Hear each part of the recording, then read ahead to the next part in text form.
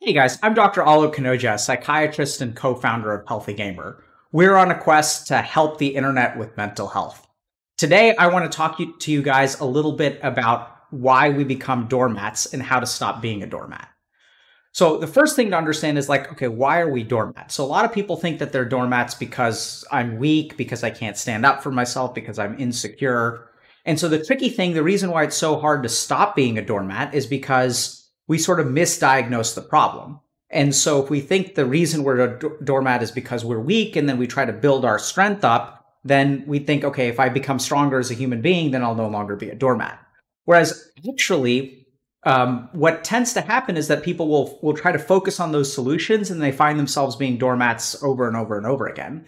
And then people start to feel a little bit powerless and stuck and they're like, yeah, I don't know how to stop being a doormat. So let's try to start by understanding, okay, what is being a doormat about?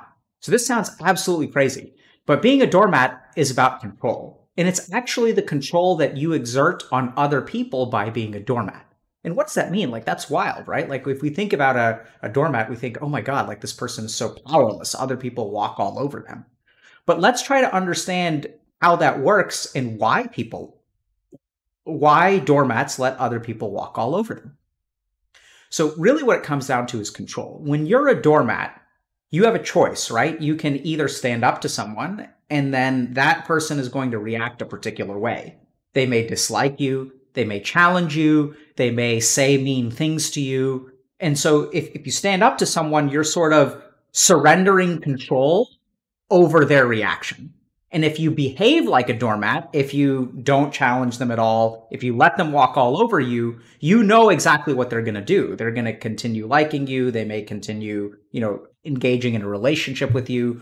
A lot of a lot of this information about doormats comes from abusive relationships where it's kind of bizarre because actually what being a doormat is about is it's about controlling the other person, right? It's about behaving in a particular way so that the other person that you're interacting with is guaranteed to behave in another way, right? So if I'm nice to them, if I let them walk all over me, they won't say mean things to me. They'll continue inviting me over. Um, you know, they they'll treat me not well, but I know the kind of reaction that I'm going to get from them. They won't cut me out of their life if I let them walk all over me.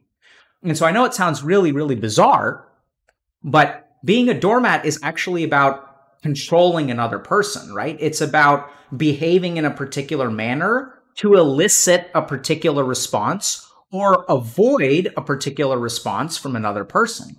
So this is the wild thing is that doormats actually have a lot of control. It's not that they lack control, it's that they behave in such a manner where they actually like control some of the reactions of people around them. And so the key to, to, to not being a doormat anymore is actually, I know this sounds bizarre, but it's not to gain more control. It's to let go of control. It's to surrender. And so the key to becoming, uh, you know, no longer a doormat and standing up for yourself is in letting other people do what they're going to do. Right? I'm going to do what I'm going to do. I'm going to stand up for myself. And if you dislike it, that's okay. I have to be okay with surrendering control of another human being's interactions or another human being's reactions in order to stop being a doormat. I have to be willing to accept that other people are going to do things that I may not be able to control. In the moment that you surrender that control, the moment that you actually let another person react however they want to, is the moment that you stop being a doormat. And when you stand up to someone, what are you doing? You're giving that person a choice, right? You're giving that person a choice. You're saying, hey, if you don't like me because I said something that you did that was inappropriate and you no longer want to hang out with me, that's your choice. Standing up for yourself is not about taking control from other people. It's about giving control to other people. It's about surrendering. It's about saying, hey, this is what I'm going to do, and you have the choice, right? You're giving them the choice about how to react. And sometimes their reactions can be painful. Sometimes their reactions can be hurtful. And the bizarre thing is that the more of a doormat that we are, the more we're taking away their choice, right? We're making the choice for them. We're saying, yeah, I don't, we can eat whatever you want to because, you know, I want to keep you happy. Being a doormat is about keeping other people happy. How do you keep other people happy? If you just even think about it, keeping someone happy implies that you're the one who's in control, that you have the power to say, yeah, you know, I'm going to do this thing or I'm going to let you pick, and therefore you'll be happy. And so, bizarrely, who's in control of that situation? It's you, right? Because you're the one who sacrifices yourself for the sake of another person. That's not a situation where you lack control. You're the one who's making the sacrifice. You're the one who who's, has the choice to sacrifice or let them respond, right? You're actually controlling their reaction by being a doormat. It's completely wild.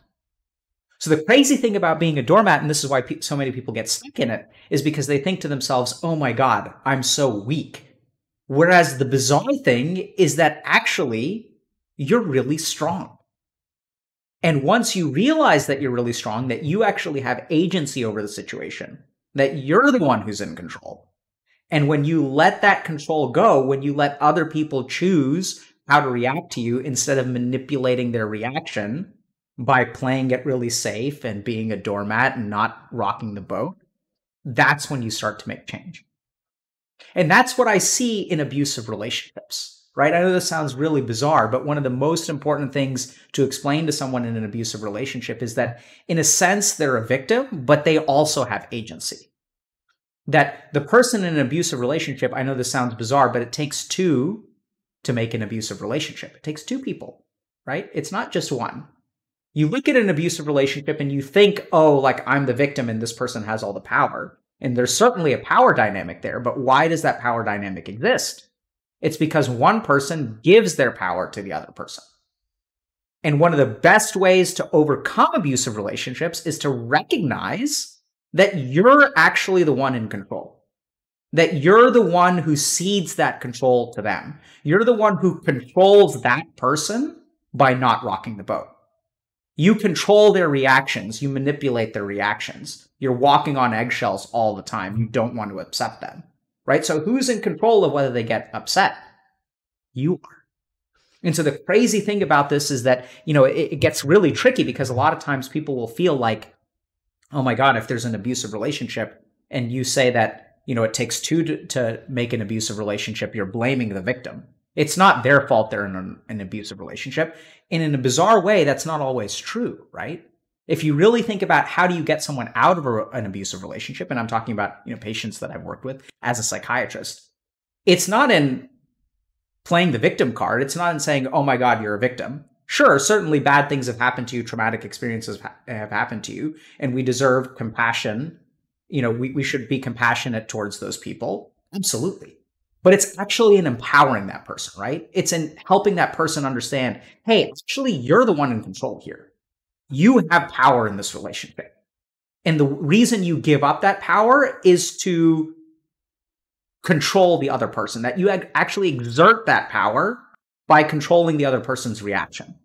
And the way to get out of that relationship, the way to stop being a doormat is bizarrely not gaining more control, but giving it up saying to the other person, you know what, this isn't okay. And if you dislike me for it, so be it.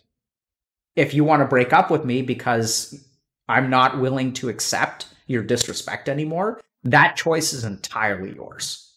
So the key thing about overcoming being a doormat, if you want to stand up for yourself, if you want to stop being a doormat, it's not about gaining more power. It's not about gaining more control. It's the exact opposite. It's surrender. It's let the other person choose. Put the choice up to them. You do what you you're going to do and let the other person decide whether that that works for them and it does or it doesn't.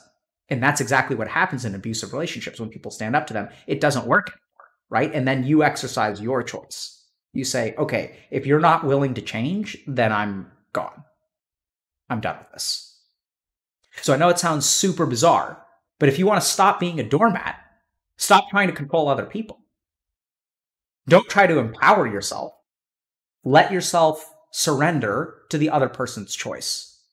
Let them choose what they're going to choose, but you make your choice and you let them make theirs. Stop making their choice for them. Stop manipulating their choice by sacrificing yourself. And then you'll stop being a doormat.